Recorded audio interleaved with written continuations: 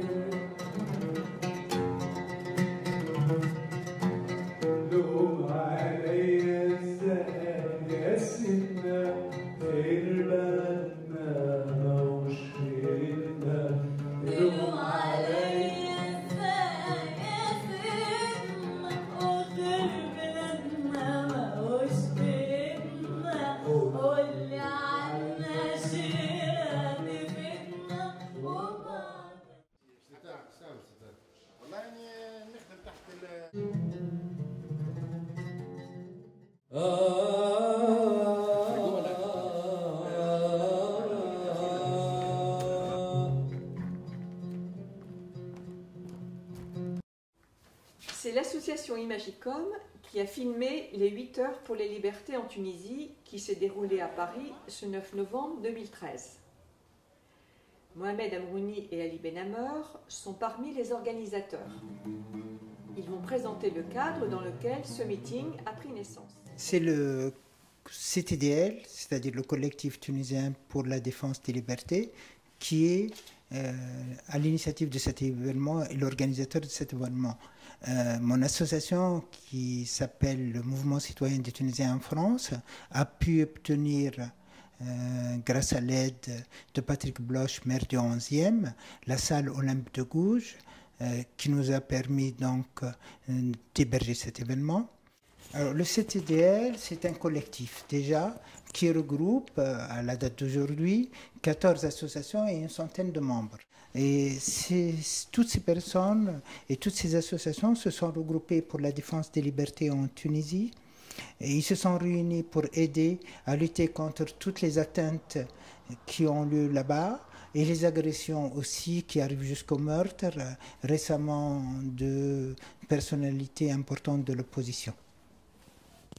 Les associations et individus du CTDL sont d'horizons divers. Ali, qu'est-ce qui leur permet de travailler ensemble?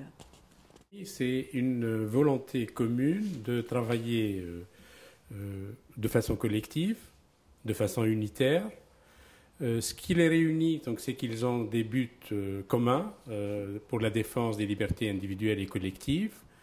Et puis surtout, c'est que leur attachement aux principes fondamentaux de défense des droits de l'homme et ils ont concrétisé cet accord à travers une charte qui a été euh, adoptée euh, de façon unanime et dans laquelle ils ont euh, défini toute l'action qui va être menée. Et puis un deuxième aspect qui a été privilégié aussi, c'est s'accepter dans la diversité et travailler de façon collégiale. Thank you.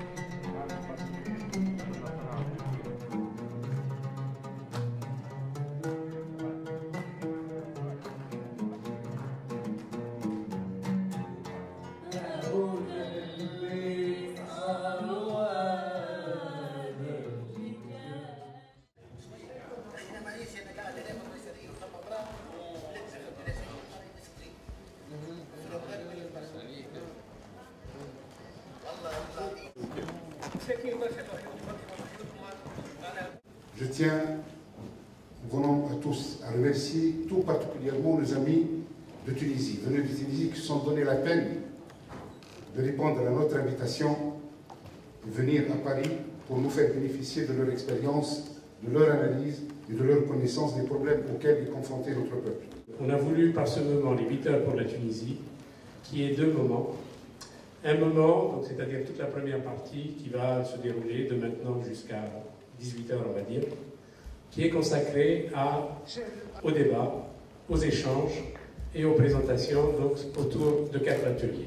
pendant cette première partie de l'après-midi, bien sûr, il n'y aura, pas que des débats, il y aura aussi quelques morceaux de musique, quelques poètes. Vous avez tout à l'heure vu des projections de courts-métrages, et je tiens à remercier tous ceux qui ont participé, si Khiri Mohamed, pour les trois courts-métrages qu'il nous a amenés, euh, Baba Noël Walid euh, Mata, je rectifie, et puis, bien sûr, Farah Khadar, qui aussi nous honore de sa présence et nous a amené donc, euh, sa production. Ce que nous souhaitons aussi, c'est que, et beaucoup de jeunes euh, nous l'ont dit, euh, c'est bien de ne pas se limiter à l'aspect politique, mais surtout il faut essayer de concilier la politique avec l'aspect festif et l'aspect artistique et l'aspect musical. Nous espérons avoir réussi et j'espère que vous aurez tout à l'heure donc cette variété euh, que nous avons retenue. Cette table ronde a pour sujet euh, les libertés publiques, dont les libertés de la presse et des médias, les libertés académiques et l'indépendance de la justice. Euh, vraiment, je remercie euh, tous les Tunisiens en France. Je, tiens à remercier euh, le CTDL pour l'invitation et pour cette occasion. je vais parler en arabe parce que je ne vais pas citer des faits seulement, mais je veux partager avec vous ce qu'on est en train de subir chaque jour en tant que journaliste et en tant que syndicat national des journalistes tunisiens. الفضيحة حقيقة فضيحة بالنسبة لحكومة ترويكا الآن أنه الصحفيين التوانسة إلى حد هذه اللحظة يشتغلون ببطاقة صحفي لسنة 2012 لماذا؟ لأن القانون الجديد مرسوم 115 ينص على لجنة مستقلة لإسناد بطاقة الصحفي المحترف ولكن الحكومة تصر على أن تكون داخل هذه اللجنة اللجنة اسمها اللجنة المستقلة لإسناد بطاقة صحفي محترف يرأسها قاضي من المحكمة الإدارية والممثلين فيها ممثلين عن الصحفيين وعن لي باترون دو بريس أصحاب المؤسسات ولكن تفاوضنا مطولا مع الحكومة مع حكومة الجبالي ثم مع حكومة علي العراير حتى نطبق القانون ولكنها تصر على أن تكون الحكومة داخل هذه اللجنة حتى تتحكم في المدخل إلى المهنة وحتى تعطي مثل ما فعل بن علي بطاقة الصحفي لغير الصحفيين وحتى تعطي بطاقة الصحفي للبوليس السياسي مثل ما كان سابقا On va passer directement aux libertés académiques, euh, deuxième sujet de notre table ronde aujourd'hui avec euh, M. Habib Maler. Je, dois d'abord euh, vous remercier pour ce travail colossal, pour ce travail d'Hercule que vous avez mené, le collectif tunisien pour la défense des libertés a mené pour la réussite de cette grande manifestation. La question des, atteintes aux règles et aux valeurs académiques défraie la chronique en Tunisie le mois d'octobre 2011, lorsque des milices salafistes soutenues par des partis islamistes ont attaqué, euh, ont attaqué des institutions universitaires pour y imposer le port du niqab en toutes circonstances à l'université, et ce, dans une tentative de changer le code vestimentaire en vigueur dans les établissements d'enseignement supérieur et donc, par là même, de changer les règles académiques qui, au nom de l'impératif de l'interaction pédagogique, exigent une transmission de la connaissance à visage découvert. Elle s'est opposée à l'ingérence du pouvoir dans la justice. Elle a été mutée au sud de la Tunisie à cause de ses positions mais continue à dénoncer euh, l'écartement de la justice. Elle va nous parler aujourd'hui de la, de la situation actuelle de la justice et les revendications des magistrats.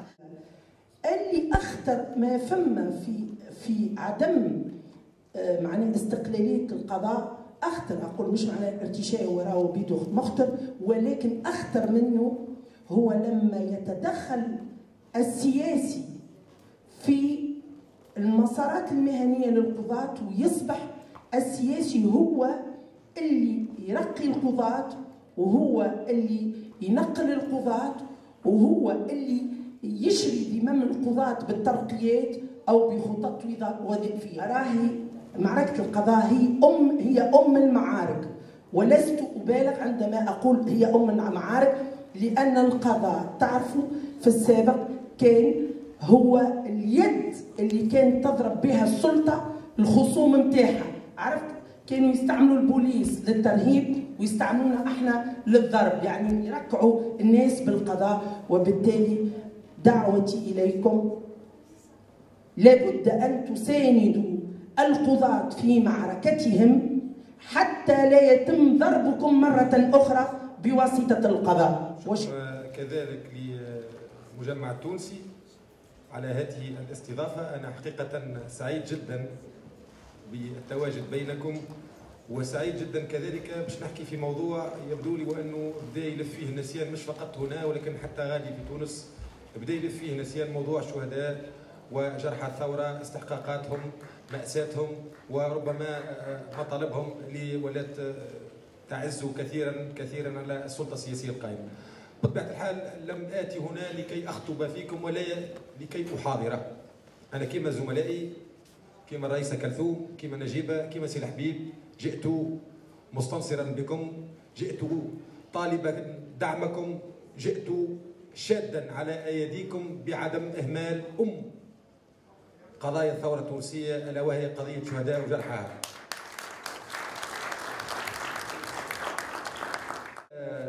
باسمي وباسمكم جميعا نترحموا على أرواح شهداء ثورة 14 جانفي المجيدة وأتمنى من أعماق قلبي الشفاء العاجل لجرحى الرشبي سليانه ولضحايا التعذيب في حكومتي العريض وحمادي جبالي أتمنى لهم الشفاء العاجل واشد على أيديكم بمتابعه كافه هذه الانتهاكات وعدم الصمت ازائها ولا رياكسيون اتون ان شاء الله شكرا وبارك الله فيكم Un des cas où on fait pression sur les magistrats. On va donner quelques exemples. Merci. Comment pouvons-nous vous soutenir Merci. Les Harriet, en tant que femme tunisienne, une chanson de femme.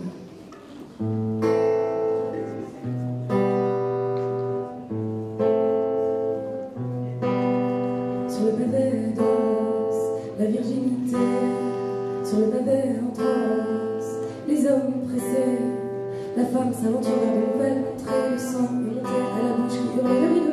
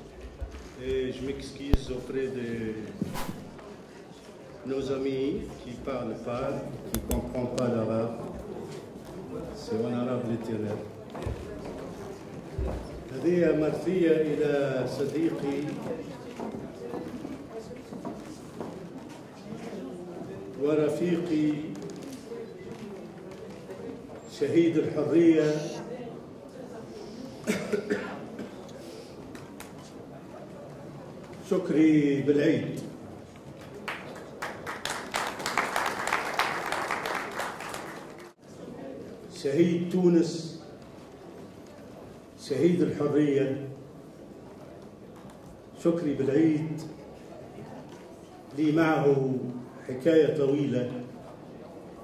لذلك طالت هذه المرثية.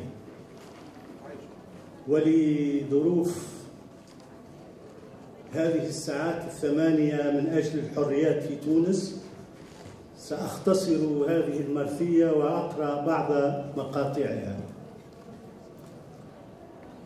له ولكل شهداء الحرية في تونس وفوق هذه الأرض. لنا على الأقل واجب الوقوف احتراما لدمهم الذي قدموه انتصارا للأرض وللحرية. إليه أقرأ هذه المقاطع من مرثية بأزهار من الحزن القديم. المقام. وطني. وطني فصول أربعة. الخريف يأتي المطر. يزرع الفلاح حبا وله أن ينتظر الشتاء. أحرص خرافك يا فتى الذئب فحل الربيع عار كعادته وضح. الصيف تاتي مناجل الغرباء تحصد ما زرعنا ثم ترحل. Donc le thème de la table ronde, c'est les enjeux économiques pour la Tunisie, les droits économiques et sociaux et l'environnement. Et puis je vais vous parler euh, des réflexions euh, analytiques pour analyser la problématique de l'emploi et du chômage en Tunisie, vue par des experts et vue par des jeunes que, euh, nous avons recueillis lors d'un travail que nous avons fait à l'IGQT. Ils ont identifié quatre sources de déséquilibre. D'abord, ils, euh, ils, attaquent les programmes euh, actifs du marché du travail, comme les stages d'insertion, etc. Ensuite, la mauvaise intermédiation sur le marché de l'emploi, c'est-à-dire le faible rôle de l'équivalent de la MPE chez nous, chez nous c'est l'ANITI, euh, euh, le problème de, du système de la formation sur euh, tant universitaire que professionnel. On vous parle, on utilise des mots, mais ils sont malades ces mots. On vous dit la, la Tunisie est un pays de couche moyenne. Mais il faut arrêter. La couche moyenne qui pouvait éventuellement ressembler à une montgolfière, c'est-à-dire à quelque chose qui est plus ou moins ovale, ressemble à un sablier aujourd'hui. C'est-à-dire qu'il y a une partie qui a été tirée vers le haut. Les gens qui travaillent dans le tertiaire supérieur et qui bénéficient d'un certain nombre de salaires tout à fait euh, honorables, et, les petits gens qui sont guichetiers, qui sont instituteurs, qui, du fait d'une inflation rampante, voient leur salaire en termes de pouvoir d'achat ne plus suivre. Donc il n'y a plus de couche moyenne. Nous ne sommes plus un pays de couche moyenne. Imaginons, imaginons que nous ayons une constitution. Imaginons que nous puissions y inscrire dedans les droits sociaux, les droits économiques, qu'ils soient inscrits dans le marbre. Certes. Et quand bien même aurait-on solutionné les problèmes? Rien. Aujourd'hui, on parle de droit à la santé. Mais quel est ce droit à la santé s'il faut deux ou trois dinars pour aller jusqu'à l'hôpital et qu'il n'a pas dans la poche? Comment peut-on parler de ces droits de manière abstraite? Si ce n'est lié à l'essentiel et qui fait la vie et qui fera le nouveau vivre ensemble Cette nécessité de répondre à l'urgence. La question de, l'environnement dans notre pays euh, est malheureusement aujourd'hui victime du court-termisme. Et je sais, je voudrais remercier le comité qui a organisé les 8 heures parce que beaucoup de gens trouvent incongru que dans la situation actuelle, étant donné les problèmes du pays, euh, de traiter de ces questions environnementales, de ces questions d'environnement.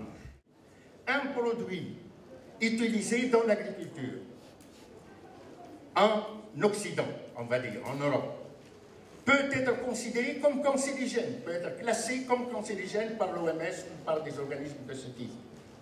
Mais il est interdit en France, par exemple, mais il peut être utilisé ailleurs. Quand il franchit les frontières de l'Hexagone ou les frontières de la Suisse, plus exactement aussi, qui est un très gros producteur de pesticides, eh bien, il devient absolument inoffensif. Eh bien, en Tunisie, personne ne révise la carte des pesticides qui sont utilisés dans le pays. Ma vie entière, 25 ans à l'université, j'ai, comme Don Quichotte, travaillé, euh, lutté contre des moulins à vent pour faire revoir cette liste. Elle ne l'a jamais été. Pourquoi? Il y a des intérêts derrière. Alfred de a affirmé on ne sait à chaque pas qu'on fait si l'on marche sur une semence ou un débris. Or, rien n'est fatal et tout est combat. Et l'environnement nécessite ce combat. Il faut que nous le fassions ensemble avec les Tunisiens d'ici et ceux de là-bas. Merci.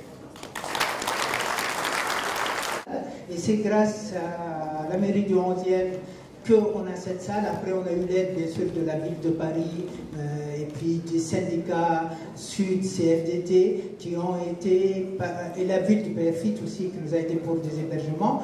Mais sans le point de départ qui est l'obtention de cette salle, on n'aurait jamais pu faire cet événement. Mais ce n'était pas la première fois non plus que Patrick nous aide, parce que moi, je me rappelle d'autres occasions où il nous a donné les belles salles de la mairie et surtout surtout à ne pas oublier, il a hébergé les élections tunisiennes pendant trois jours à la mairie du 11e. Et ça, c'est quelque chose qui est très important pour nous.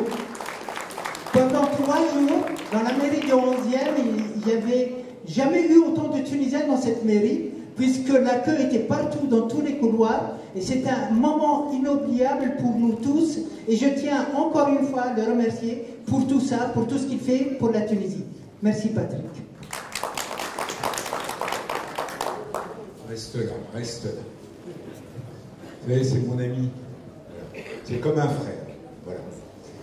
Donc, euh, je suis euh, très heureux de, vous saluer, très simplement, très brièvement, parce que j'ai vu que le programme de cet après-midi était très chargé. Et finalement, Mohamed m'avait dit, viens entre deux tables rondes. Eh bien non, je suis arrivé en pleine table ronde, et c'est parfait, parce que ça m'a permis d'écouter euh, des tribuns remarquables, je ne saurais leur arriver à la cheville, qui ont été extrêmement convaincants sur des droits fondamentaux pour tout peuple à travers le monde, à savoir les droits économiques, sociaux et environnementaux. Et j'ai trouvé ce débat passionnant. J'ai appris euh, plein de choses. Comme vient de vous le dire euh, Mohamed, nous nous euh, retrouvons quelque part.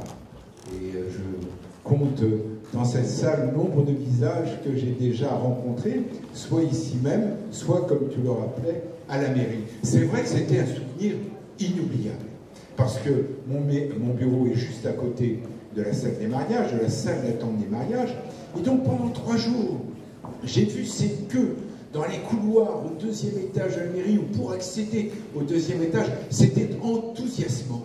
J'avais l'impression de participer moi-même à ces élections même si je n'avais évidemment pas le droit de vote.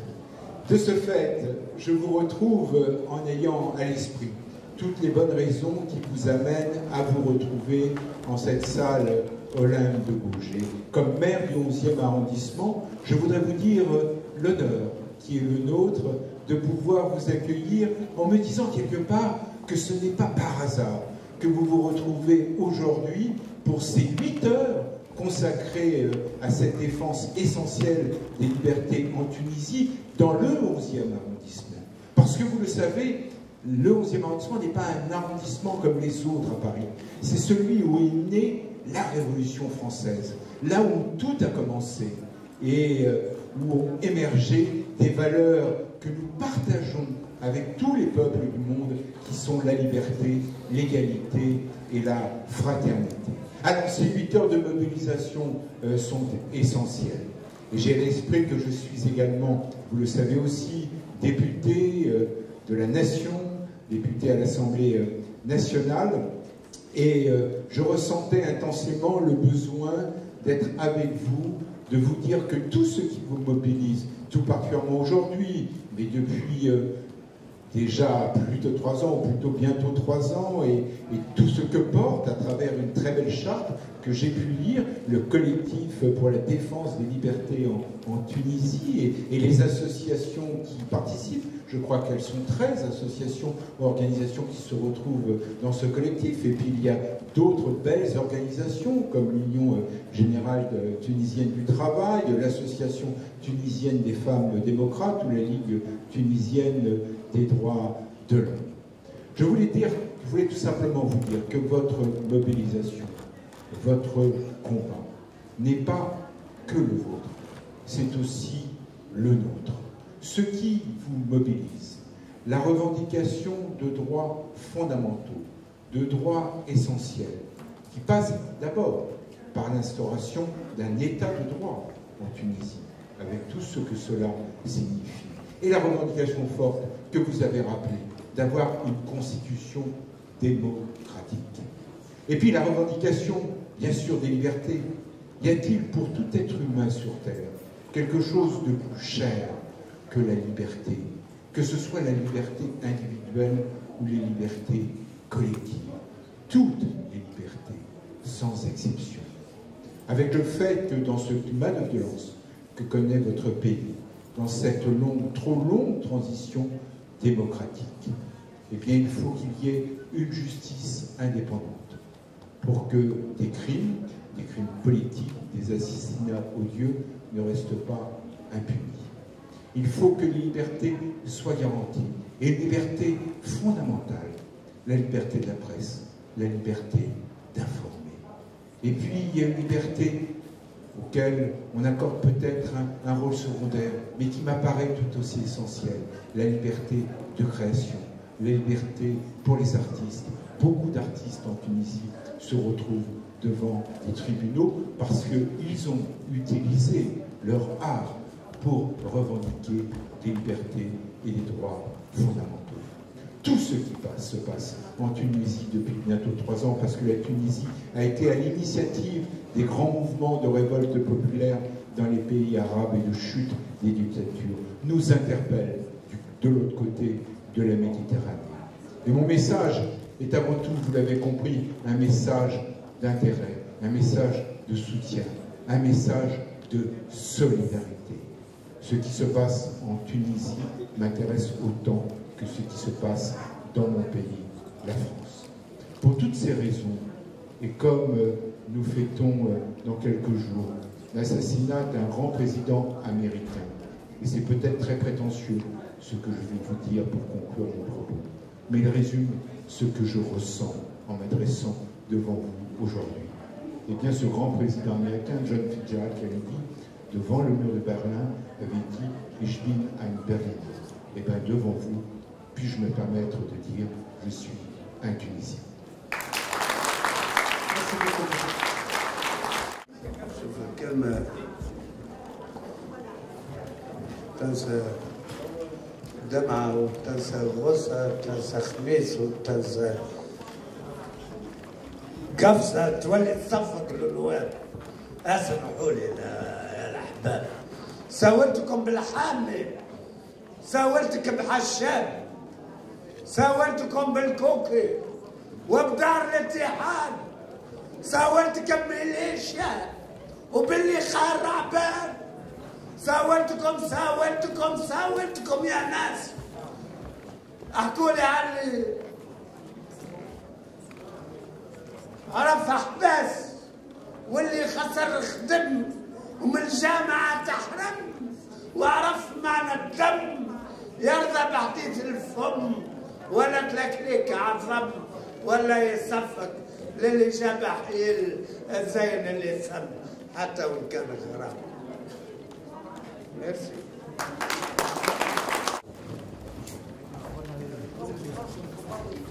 Bonsoir tout le monde. Alors, la table ronde que nous commençons maintenant est intitulée Liberté fondamentale au pluriel, évidemment, et liberté individuelle également au pluriel. Donc, vous savez que en Tunisie aujourd'hui, euh, les libertés fondamentales sont menacées et les libertés individuelles sont malmenées, c'est le moins qu'on puisse dire au niveau des principes et au niveau de la pratique, puisque vous avez des violations des libertés absolument tous les jours, des atteintes à toutes les libertés d'expression. Les penseurs, les artistes, les chanteurs, ceux qui disent ce qu'ils pensent, comme Jebel Mejli, entre autres, euh, qui est condamné à 7 ans et demi de prison pour euh, plus ou moins blasphème, etc., etc. Que Merzouk, ancien président de la Ligue des droits de l'homme, et dont je viens de rappeler le plaidoyer pour la, la, Déclaration universelle des droits humains, reçoit à Carthage pour discuter avec eux, pour les faire accepter comme des citoyens comme tout le monde, et à l'égard desquels il a usé de son droit de grâce pour qu'ils commettent des assassinats, des attentats. Eux, ils sont libres.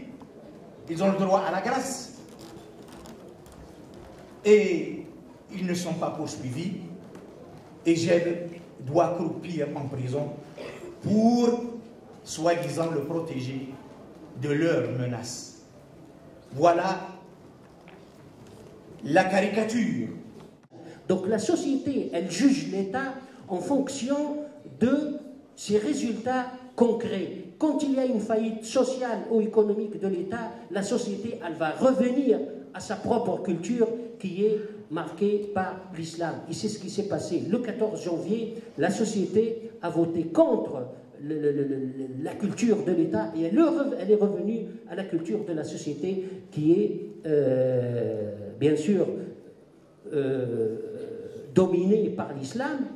Et l'islam n'a pris de place dans cette culture que vers les années 30, lorsque la question de l'islam s'est posée comme élément de l'identité nationale face à la colonisation. Je vous donne une information, par exemple, la constitution tunisienne de 1861, c'était une, c'était une constitution sécularisée. Le mot islam n'existe pas dans le texte de, la première constitution de 1861. Il y a un seul mot qui, ne vient qu'une seule fois, le mot musulman, musulman, c'est tout. Pourquoi? Parce que l'islam comme problématique politique identitaire s'est développé dans le contexte de la euh, colonisation. Je dirais que la, euh, la, liberté a été souvent euh, pensée d'une façon collective, comme une cause collective, liberté des, des, donc des jurés, des, des journalistes, des, défenseurs des droits de l'homme, et on parle peu, et on parle peu des libertés individuelles. Et c'est ce qui explique justement le, le malaise que les défenseurs des libertés en Tunisie ont trouvé pour soutenir Amine et pour soutenir Jebri, justement. Euh, le, nom, le prénom de Jebr, comment il s'appelle? Jebr el Pourquoi? Parce qu'il y a une hésitation. Les gens ne comprennent pas que après la, la révolution, on est passé de la dictature de l'État à la dictature de la société. Et les défenseurs des droits de l'homme et des libertés en Tunisie ont pris l'habitude de défendre la liberté comme, euh, comme besoin collectif, ce qui les a mis souvent face à l'État, mais rarement face à la société. Vous avez dit pourquoi Marzouk n'a pas soutenu le tout? Parce que Marzouk est incapable de faire face à la société. Le problème aujourd'hui, c'est la situation des femmes dans la situation dans la Tunisie post-révolutionnaire. En rappelant toujours les slogans de la révolution, on rappelle la justice sociale, on rappelle la démocratie, les libertés, mais on élude souvent la question de l'égalité. Est-ce que la révolution, tunisienne, qui a été euh, fortement animée par les femmes dans toutes les rues, dans toutes les villes de la Tunisie, est-ce que la révolution tunisienne pourrait prétendre construire une démocratie en éludant les droits des femmes, en occultant les droits humains des femmes comme partie intégrante des droits humains, en oubliant que les droits humains ne sont pas dissociables, que les droits humains ne peuvent pas être séparés. On ne peut plus parler de droits des femmes en second plan. Je dirais que autant nous sommes, convaincus que l'indépendance de la justice est un facteur très important pour la construction de la transition démocratique, autant nous sommes convaincus que la liberté des médias est importante, nous sommes encore plus convaincus que la démocratie ne peut pas se construire sans les femmes. Elle ne peut pas se construire en dehors des femmes et aux dépens des femmes. Et en fait, un petit peu, euh, une question, c'est une remarque qui m'a énormément surprise. Il y a une jeune fille qui a été violée par des policiers l'année dernière. Son procès a eu lieu, je crois, il y, a, il y a quelques jours à peine cette semaine. Et j'ai appris que ses avocates ne s'étaient pas présentées au procès, qu'elle elle était seule. Tous ses soutiens qui étaient là l'année dernière quand l'affaire a fait grand bruit, là, il n'y avait plus personne. L'avocat des policiers, Khalalha, Rabbi il a osé, osé demander à cette jeune fille de pardonner à ses agresseurs. Et moi, nous, on est ici, donc moi j'étais scandalisée de lire cette dépêche AFP ou Reuters, je ne sais plus. Amel Twain, ça les soutient l'association des femmes démocrates. Vous étiez où? Vous étiez où à ce moment-là pour ce procès symbolique? C'était une agression, ça a été un viol, justement. Moi, je me demande là, je, suis désolée, nous on est ici, moi je veux bien venir pour 8 ans pour la liberté, on soutenir autant qu'on peut, simplement on est à 2000 km. Mais les soutiens là-bas, où est-ce qu'ils étaient? Et cette jeune fille, elle est seule, par Sarah de France, et il n'y a personne pour la soutenir, ni en Tunisie, ni en France. Merci beaucoup. Je suis un peu surpris par le comportement de l'opposition tunisienne en Tunisie. J'aimerais savoir qu'est-ce qui empêche l'opposition de toutes ces couleurs de se rallier pour demander tout simplement euh, un régime laïcité. Je pense que tout le problème vient de là. Pourquoi fuir ce problème et jusqu'à quand on va le fuir? Et a-t-on peur le... J'ai entendu quelqu'un, un intervenant qui parlait, oui, c'est la société, c'est la culture. Mais est-ce qu'on va avoir peur jusqu'à quand? Merci. Aucun parti politique, y compris à gauche, n'a voulu euh, parler de GBP, ce qui montre bien la frilosité des partis politiques sur la question du rapport religieux. Elle a un problème parce que pour elle, l'association c'est Ahlam Belhaj, la présidente. Ahlam Belhaj se trouvant dans des conditions un peu difficiles chez aussi, d'une part, d'autre part, elle n'est pas avocate. L'association a mandaté des avocats pour s'occuper de la question. Donc c'est peut-être à ce niveau-là que vous pensez qu'elle s'est trouvée seule. Mais en fait, El Nazarouni, notre avocate, était avec elle. Moi, j'ai dit que la constitution de 1861 en Tunisie était une, constitution sécularisée. Euh, ça, c'est très important. C'est pas laïque. La laïcité, c'est une tradition française issue de la spécificité de l'histoire française. Je ne veux pas dire qu'elle n'est pas exportable. D'ailleurs, je ne sais pas, il y a presque 9 ou 11 pays, constitutions dans le monde, qui sont proprement laïques. Ça veut dire, on dit clairement une séparation entre l'État et la religion.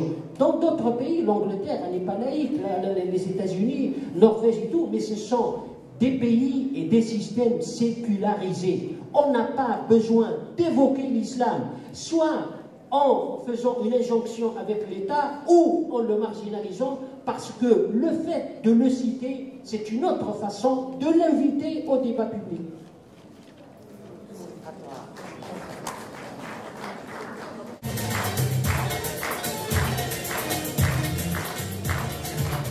Très heureuse, vraiment très heureuse de jouer pour la première fois devant mes compatriotes.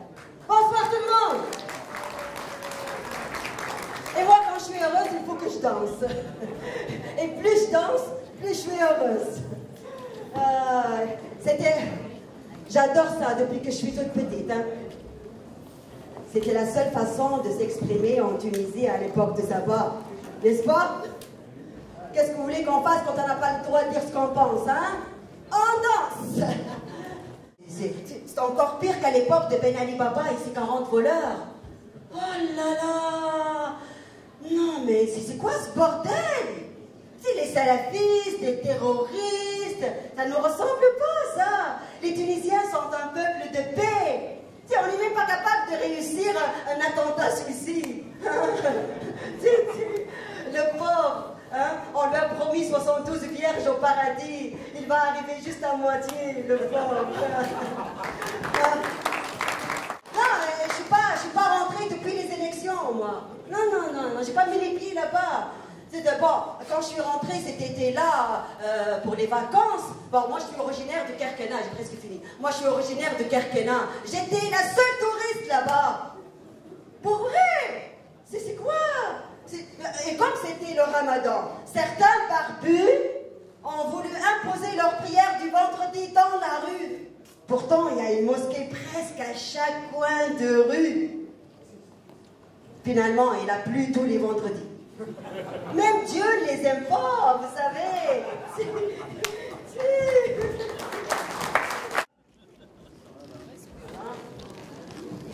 la, quatrième et dernière table ronde qui porte sur la situation actuelle en Tunisie et les perspectives.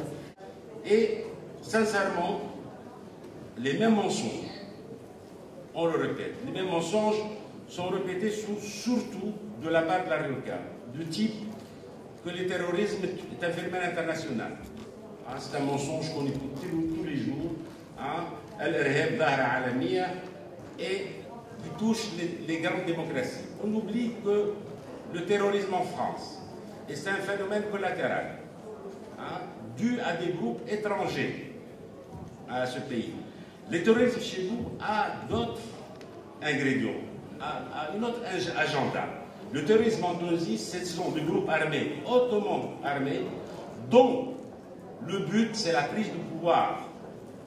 Ce n'est pas le terrorisme publicitaire, ce n'est pas le terrorisme qui touche la France, touche l'Angleterre et même les États-Unis. On a affaire à des groupes entraînés, structurés, dont le but essentiel, c'est la prise de pouvoir et la fondation du califat. Hein? Les groupes djihadistes en Tunisie n'ont rien à voir avec les wahhabites. Il y a une légitimité, une dimension théologique de l'ouahabisme, mais on sait que ces groupes sont formés en Afghanistan dû à une dissidence. On oublie toujours qu'Ayman Dawari est un ancien frère musulman. On oublie que ah, le chef d'Ansar Sharia en Tunisie est un ancien frère musulman. On a, on a affaire à une dissidence, mais la même communauté d'idées, le même projet politique que celui des frères musulmans, mais avec une autre variante, avec une autre stratégie, une stratégie aussi dangereuse. Euh, L'urgence, euh, je pense sincèrement qu'actuellement l'urgence est la solution militaire, sécuritaire. Les solutions économiques, sociales, euh, culturelles, il faut les laisser parce que ni l'État n'a les capacités, on n'a pas les moyens, et c'est des solutions à terme. Actuellement, la solution à long terme, elle est réellement militaire, sécuritaire et politique. Et merci. À côté. Là maintenant, nous avons un triptyque qui formate la scène publique tunisienne. Je dirais même qui formate les relations de la Tunisie avec l'extérieur. Au point que notre pays n'est plus indépendant, à mon avis. Elle n'est plus indépendante depuis le 14 janvier, elle l'est moins encore aujourd'hui, puisque c'est l'ambassadeur des États-Unis ou le représentant de l'Union européenne qui indique la feuille de route que doit prendre le pays aujourd'hui pour affronter les problèmes auxquels on est confronté. Premier point, mortel. On n'est plus maître de notre avenir. Et on a beau à dire qu'on est menacé par tel ou tel, il ne reste pas moins, il n'y a que les Tunisiens qui peuvent se prendre en charge. Que les Tunisiens. Et qu'ils ne peuvent en aucun cas compter ni sur les États-Unis, ni sur la France, ni l'Union européenne pour affronter des menaces du type qui sont des menaces réelles, bien entendu, auxquelles on est confronté. Moi, j'ai un seul reproche à faire à la Troïka, et uniquement un seul, et un nada. C'est d'avoir, je les accuse d'avoir détourné le cours de la Révolution. C'est le seul. Et vous savez-vous pourquoi ils ne quitteront pas ou ils sont en tendance à ne pas quitter le gouvernement? Parce qu'ils ne peuvent quitter le gouvernement que si Intakat quitte l'Assemblée nationale et CPL quitte la présidence. C'était conçu comme ça dès le départ. Et donc il y a une espèce de relation triptyque comme ça dans, laquelle ils ne peuvent pas s'y tâcher. Sauf à certaines conditions. À certaines conditions, alors terribles, terribles politiquement. Ce n'est pas tant, ils ne sont pas les sources de nos problèmes, non. Mais la trahison du mandat a été aussi conséquence, c'est qu'ils ont sapé la confiance des Tunisiens dans le processus démocratique. Les Tunisiens aujourd'hui ne pensent pas à la démocratie. On leur dit il y a du terrorisme, il y a du pain, il y a des machins. Laissez de côté les élections, laissez de côté les machins. Et qu'est-ce que ça va donner ça? Ça va donner le retour, le retour à la dictature. Il a pensé éradiquer l'islamisme. Il a été, il les a mis en prison, il a même assassiné des gens. Et c'était à tort. Il a organisé les, les procès inéquitables. Et résultat, 23 ans après, eh bien, on doit l'assumer, cette responsabilité. Mais il faut dire la vérité aux Tunisiens. Il ne faut pas s'en cacher pour le dire. وقت اللي كانت في ذلك الوقت المكونات السياسية على طرفي نقيض والبلاد مهددة بالتصادم المباشر والحكومة متمسكة بشرعيتها في المجلس التأسيسي شرعية المجلس التأسيسي وشرعية الحكومة والمعارضة تعتبر أن هاتين الشرعيتين قد انتهتا انتهيتا قدم الاتحاد العام التونسي للشغل مبادرته الوطنية وتحمل مسؤوليته أنه يساهم في إنقاذ البلاد. أكثر من ذلك حول تلك المبادرة إلى مبادرة وطنية شاركوا فيها مكونات أساسية في البلاد اللي هم الأعراف والرافض التونسي للدفاع عن الإنسان والهيئة الوطنية للمحامين Donc je voulais savoir comment est-ce qu'on peut, mettre, on peut tout mettre tout sur le dos d'une dizaine de personnes qui ont été élues par une ANC, enfin qui ont été nommées par une ANC, qui a été élue par le peuple tunisien après la révolution de 2011. C'est que comme en Tunisie aujourd'hui il n'y a pas de, euh, de contre-pouvoir et que manifestement la sortie par le haut à travers le dialogue national tarde, y aurait-il pas une réflexion sur la sortie par le bas, par des élections municipales ou régionales, de manière à remettre une machine administrative, euh, administrative en route عميد والحالة في حالة ثورة فوضى على الإرهاب على أبطالها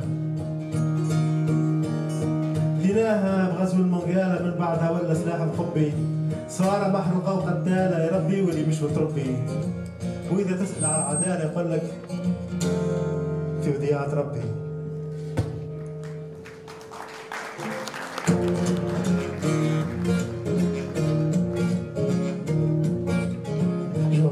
ولا ثكنت سلاح قادم تاع جهاد جمعنا ولا ثكنت سلاح قادم تاع جهاد عملت ميليشيات تدور وتذهب في العباد الحين وعصيم دوريات تحكم وتحاسب وتربي. واللي سقط واللي مات.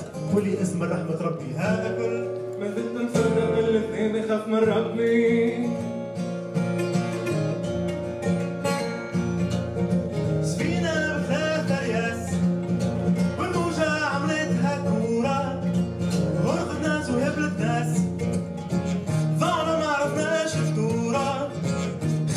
البالة وعمي الفاس ولا مشهور ومشهورة حتى لي أصله مراس ولا في الأسد يا ربي.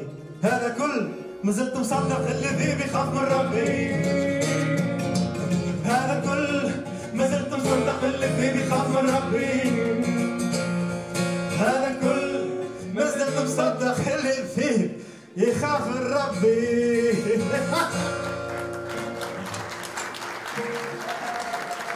أما شكون مازال يصدق؟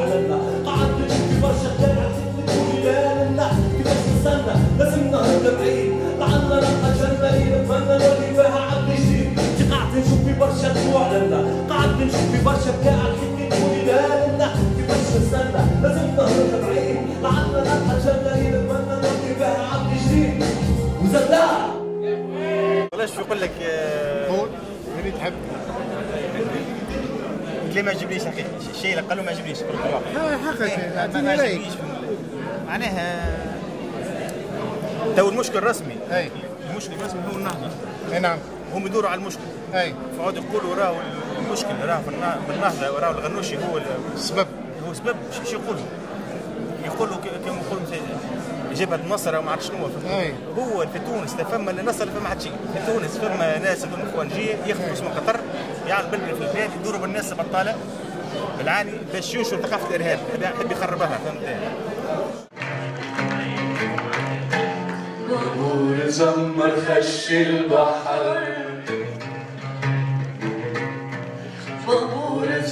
خش البحر طب نهر الأرض الوطن عز الوطن طب نهر الأرض الوطن عز الوطن حبوا تعطينا كلمة للتلفزة الأسوسياتيفية الجديدة. التلفزة اي هكا مسجل في هذا يظل المشهد هذا هام لكن حقه يقع التفكيك نتاعو في المستقبل باش تكون ياخذ الوقت لأن مواضيع هامة وقع طرحها. Il y a trop de sujets, c'est ça يعني عندك quatre تابلو روند Il y en a une de trop.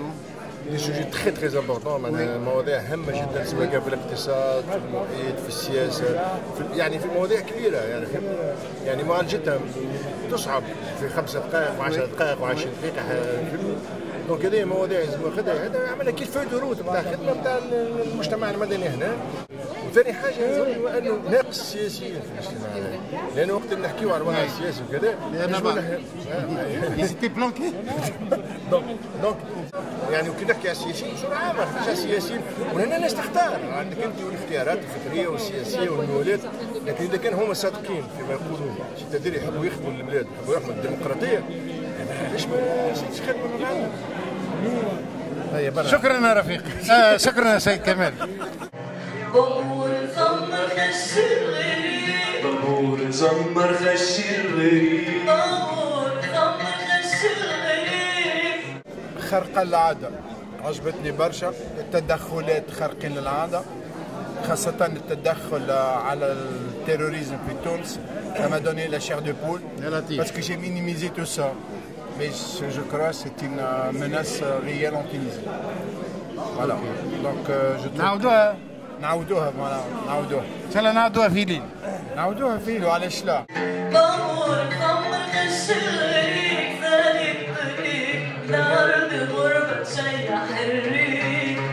أنا فرحان ياسر أن أوسع التوانسة عدة وجوه عندي برشا ما شفتهاش موجودة اليوم يعني أن الحرية من أجل بلادنا ومن أجل شعبنا أه توحدنا. وماذا بينا نتوحدوا على أكثر من هذا الشيء. على التقاءات أخرى أنا نشكركم على البادرة هذه. وأنت نسمع فيك في المقولات تتكلم في بعض النفاق تقول لهم نعاودوها لما لا؟ عاودوا عاودوا وإلى الأمام. عايشك بارك الله فيك. ميرسي جد. عاطفي ظهر الوجه الصديق. عاطفي ظهر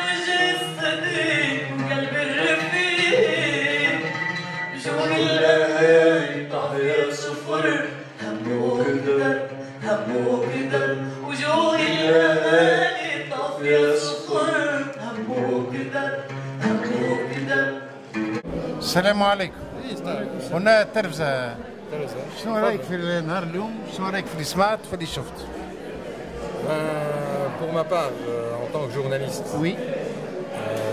la première chose, c'est qu'en tant que journaliste tunisien, oui. existant dans ce pays français, oui. depuis un certain nombre d'années, oui. je suis très étonné qu'on ne m'ait pas invité pour intervenir à la tribune. Ça, c'est la Et première là. chose. Ce qui m'a conduit, ce qui m'a conduit, dans le respect de ce qui se passe, à ne pas intervenir pour critiquer ce que j'ai entendu, quand ce que j'ai entendu, je l'ai estimé très critiquable. S'agissant de l'organisation de l'après-midi, oui. des 8 heures pour la Tunisie, s'agissant de cela, je suis très heureux qu'il existe encore des organisations tunisiennes en plein Paris capables d'organiser ce genre de choses.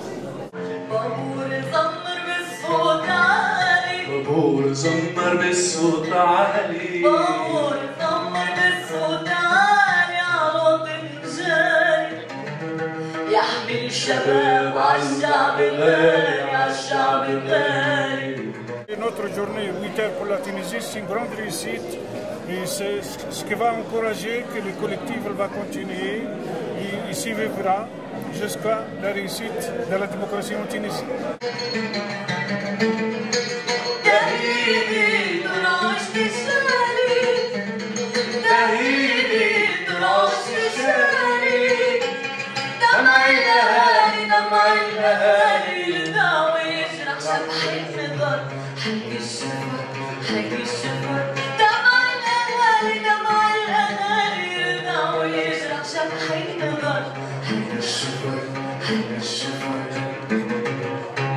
Ben voilà, et bravo d'avoir organisé ça parce que c'est important.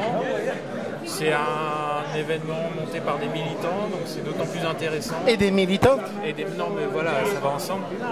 Des militants et des militantes, et c'est d'autant plus intéressant. C'est pas, quelque- c'est pas quelque chose de marketing qui surfe sur euh, l'image de la Tunisie, etc. C'est vraiment un événement militant et on sent que voilà. Et, et donc, euh, bah, j'espère que ça bah, j'espère que vous referez euh, ce genre de choses et que euh, ça peut avoir un effet positif sur les Tunisiens qui vivent à Paris, les Tunisiens de France. Merci beaucoup. Et voilà. Merci. طابور الزفر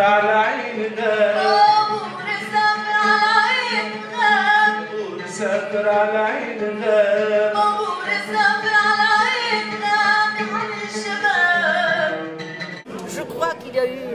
présence euh, très très importante. hein. La présence, c'est ça qui est aussi Oui. euh, qui remonte, qui nous donne du, j'allais dire, du courage pour continuer, parce qu'on en a besoin.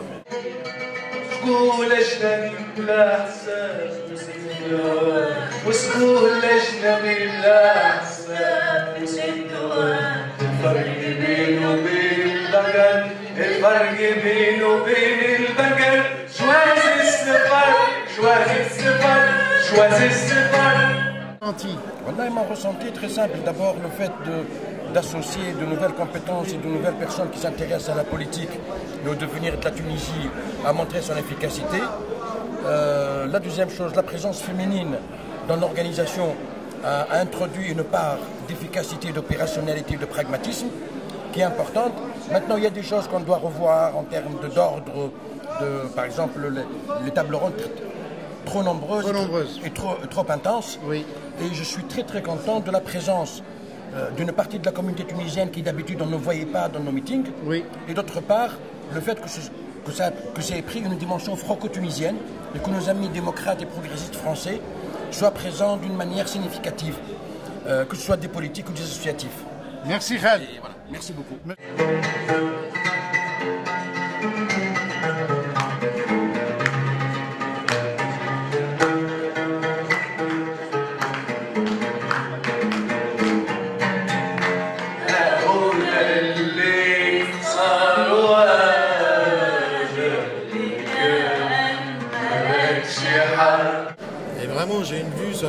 un peu plus clair. Je suis en même temps inquiet par rapport à ce qui a été dit pour le futur de la Tunisie. Rabius Rabius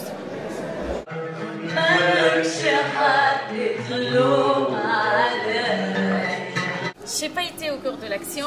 Qu'est-ce que tu penses? Moi, je pense que j'ai pas vu les, tables rondes, c'est ça qui m'a déçu. Mais j'ai j'ai dit, je, on m'a proposé, donné de son temps et on de m'a son proposé le bar, donc je l'ai pris et puis Oui. je pense que euh, on a bien bossé. Et merci à, à Madame Aziz qui aime les Tunisiens, qui est d'origine algérienne et qui a Ma- beaucoup Madame travaillé. Aziz, vous êtes fatiguée Pour la Tunisie, À sera refaire, jamais- Madame à Aziz. refaire, à refaire. هؤلاء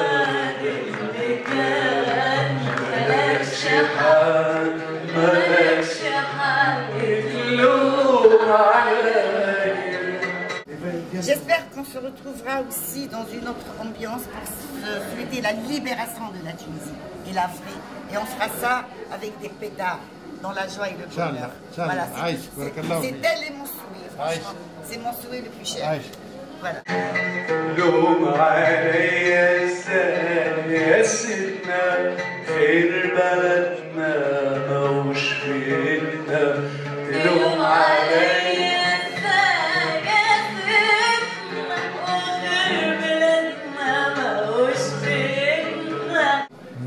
Avons fait ce qu'on a pu. Oui. À améliorer. Oui. Et je profite de l'occasion de, remercier- de remercier tous les volontaires qui ont donné de leur temps et de. On peut parler d'un. On ne tire pas le bilan pour l'instant. Alhamdoulilah, ça va, ça se passe très très bien. Les gens, ils ont été super, cool. Ok. Tunisiens. Heureusement qu'on ne tire pas le bilan des vrais Tunisiens. Oui, non, mais c'est bon. Mais on n'a pas eu de clash, on n'a pas eu de. Non, non. On tire à la fin. Aïe. Magnifique. Merci.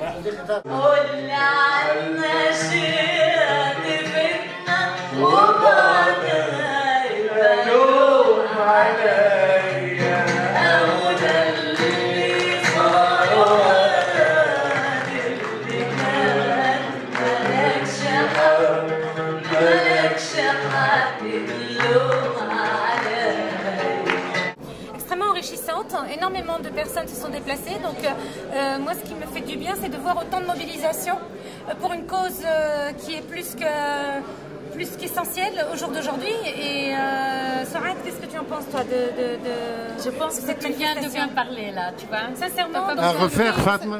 vraiment à refaire, à renouveler. Voilà, je trouve qu'il y a un bon, un bon équilibre entre les, les interventions de fond, parce qu'on a besoin de fond et de discuter de- des problèmes qu'affronte le pays, et puis la partie festive. Ça, c'est À refaire à continuer, oui, bien sûr, mais pas simplement à Paris. Je pense euh, continuer à élargir dans, dans des grandes villes où il y a une forte communauté tunisienne et qui est vraiment en attente de, et de discussions et d'échanges et de se retrouver. Merci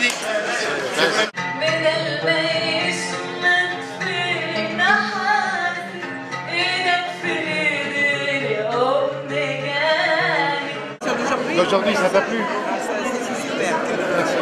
Il faut euh, d'autres manifestations Voilà, c'est et pour les femmes aussi, j'espère que toutes les femmes, elles s'unissent. يعني خلينا من les couleurs politiques. Toutes les femmes. Toutes les femmes, même Les حتى réactionnaires, النهضويات. les- أي، Même حتى النهضويات. Bachir, Aslam, أنا جيت. Il faut associer, il faut créer un mouvement de toutes les femmes qui sont courageuses pour défendre leurs droits. D'accord. Pas laisser ça de côté. Même Nahdawiya, même toutes, on a les mêmes droits à défendre. Et je pense que c'est ça qui va faire. Parce que si on attend que les hommes politiques nous donnent des choses, ils le feront.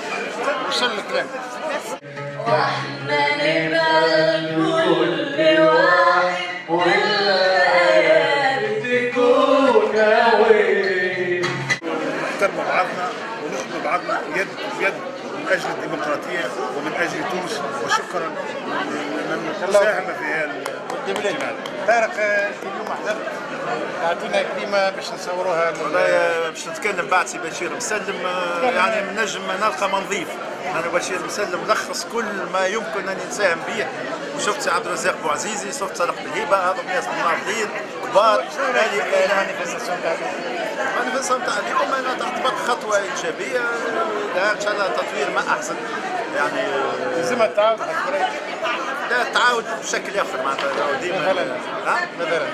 آه، اليوم مثلا ديبا ناقص يعني المحاورين اللي جوما تونس.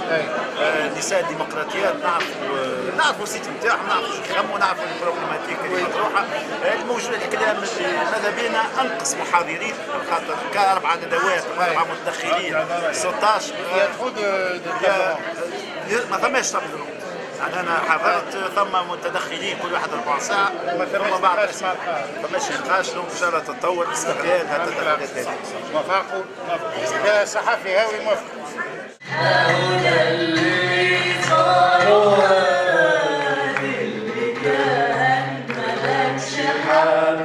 ملك شهاب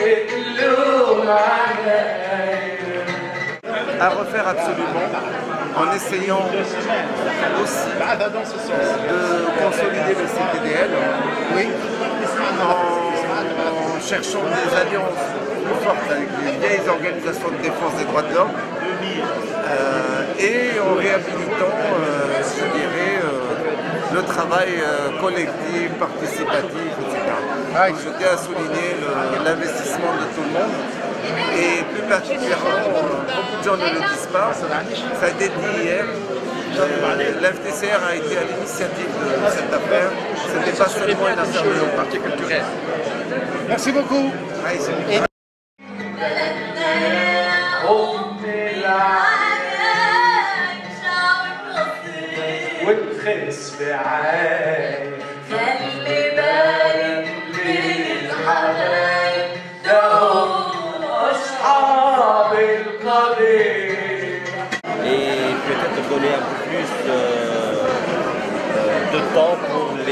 les activités culturelles, parce qu'il y a des gens qui sont venus pour ça aussi, donc pour que les gens ne fuient pas.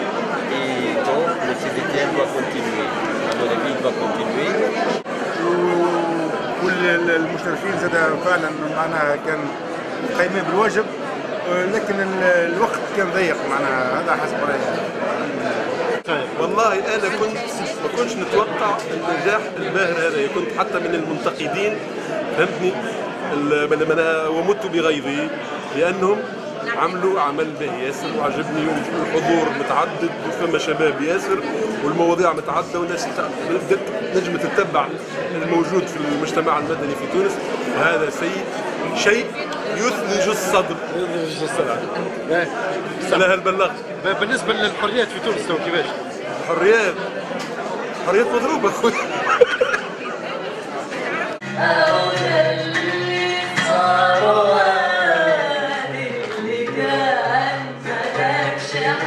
My